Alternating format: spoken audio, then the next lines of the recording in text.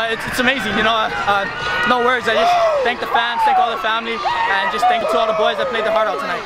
You know, um, our group of skill receivers, they're, they're just they're phenomenal. On our line, block like crazy. You know, all thanks to them. You know, St. St. Francis, they're a good physical team. Uh, props to them. Uh, they had a good game plan, but you know, we just came out on top today.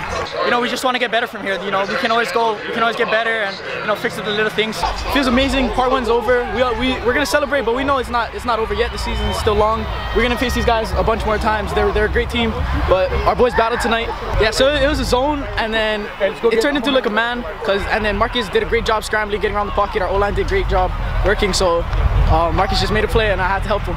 Honestly, I stopped back to the summer when all my boys were working hard. We were puking, and then all of it just came back to me, and I thought I wasn't gonna give up for them.